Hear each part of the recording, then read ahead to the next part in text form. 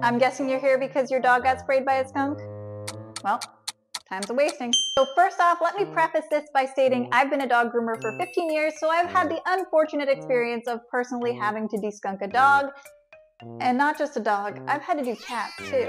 But cat or dog, it doesn't matter because I'm gonna give you the tried and true method for getting the stink out no matter the species. Step one is super important. Please don't skip it. You need to assess your pet. Things that you're going to look out for is drooling, red eyes, vomiting, and even some swelling, particularly around the eyes. Unfortunately, they like to aim at the face. If your dog has any of those symptoms, you're going to head right to the vet because they might need some extra help. Otherwise, if your pet is fine but just super smelly, let's get into how you can get this whole thing under control. First off, if possible, do not let your pet into the house. Anything that they touch will turn into an absolute stinky dumpster fire. I'm not exaggerating here. And it can be extremely difficult to get out. So if you can avoid this, just fade them outside with a hose if possible, but hang on. Actually, don't get them wet. Let's start there because this is going to be important whether you're bringing them inside into the bathtub or if you can get the job done outside. Just please, for the love of all things that are holy, do not put any water on your dog to start. And the reason for this is that skunk spray is made up of a lot of different stuff, but the real problem in it is the oil. It actually sticks to your dog's skin proteins, kind of like glue. And you know how water and oil refuse to play nice? Yeah, that's why washing off skunk spray is a real pain in the and the kicker is that the smell just keeps coming back stronger whenever your dog gets wet. So as backwards as it might sound for now, please just keep your dog dry. Also, if you did have to carry in your dog or touch them for whatever reason, I will give you a tip for the cleanup of your house and your clothes at the end. But we'll circle back since right now we're dealing with problem numero uno, and that is your dog.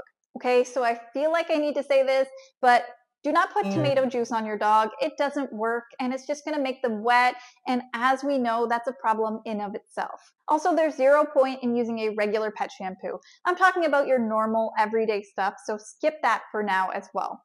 So obviously, if you have a deskunking pet shampoo, this is going to be your best bet, but most of the time, we're usually unprepared for a visit from Pepe Le Pew. Skunks are nocturnal and usually they tend to strike at night because of this and usually this is when the hours that the pet store is closed. So hence why you're probably on YouTube right now trying to figure out this problem. But don't worry, I've got you covered. I've got a couple of recipes to help you out, most of which you probably do already have on hand. And if not, we can circle back to the shampoo, but we're getting through this one way or another. So recipe number one involves hydrogen peroxide.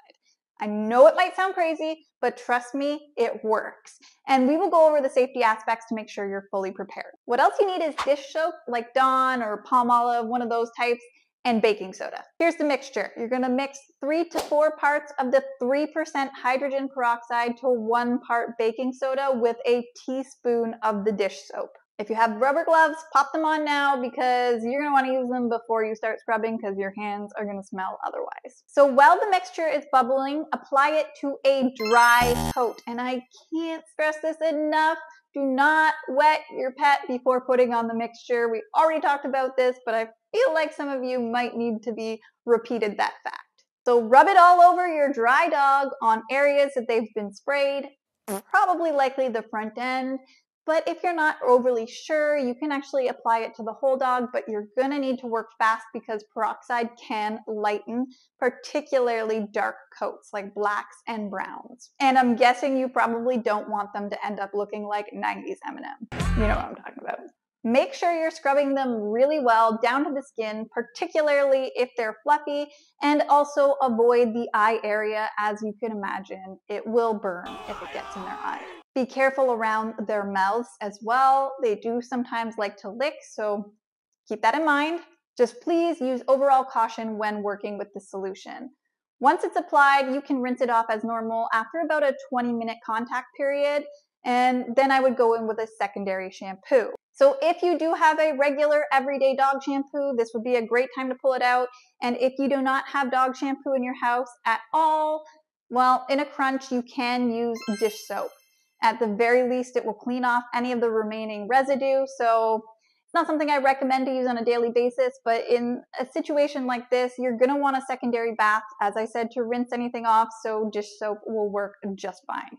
Now, if you happen to have conditioner, that would be recommended if possible as well, since obviously these whole steps are gonna be very drying on their skin, as you can imagine. So just if you have any on hand, it'd be a great time to use it as well. Let's get into recipe two, just as a backup in case you don't have the first set of ingredients.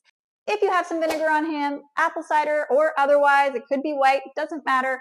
The mixture is two parts water to one part vinegar. Just as we said earlier, apply this to a dry coat as well. Although the mixture is wet, so it won't be as effective or easy to spread around as the first one, but Desperate times call for desperate measures. Same as before, scrub it in really well and let it sit for about 20 minutes and then hose them down and give them a normal bath with shampoo and conditioner. As I said before, if you do not have those, dish soap is fine as well. Same idea, just to remove any remaining residue. Quickly, let's talk about the best deskunking shampoos that you can buy, and then I'll get into the cleanup process. Okay, so if you're using an actual deskunking shampoo, same as what we went through before, apply the shampoo directly to a dry coat. Do not wet them down. So no matter what kind you have, this step is going to make the biggest difference in the actual effectiveness of the product. As I said, scrub it in really well and then read your label for general use. It might tell you how long they recommend letting it sit, but generally speaking, it's probably anywhere from about five minutes up to that 20 minute mark.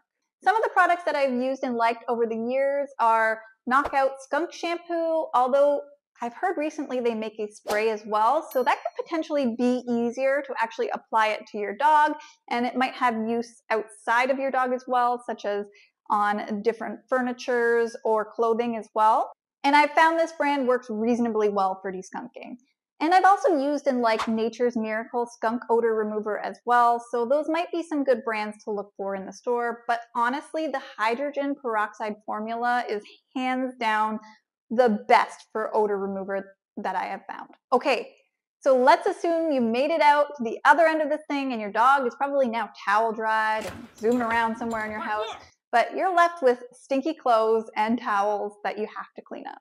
Well, if you use a deskunking shampoo or spray, most do have usages for cleanup as well, as I was talking about with the Nok Out. Shampoos can apply in this situation as well. Some can be used for clothing as well. So just read your labels. But if you have DIYed the process, feel free to strip down and put your towels and clothes in the washing machine and you're going to add about a half a cup of baking soda along with your regular detergent. And it's really likely that you're going to have to run two cycles on this. Once clean, remove them and hang them to air dry. Using heat on them might actually act as a sealant in a sense for any of the remaining skunk smells to take root deeper into the fabric. And oxygen really helps as well, so Along with the cool air and the oxygen, it's really going to help the process along. Here's potentially another problem you might encounter is that after the bath, as I said, some dogs like to rub on every surface in your home. So you actually might want to blow dry them on a cool setting because the same idea with the heat applies here. But if you need an actual dog blow dryer, I can help you pick a budget friendly one in this video right here.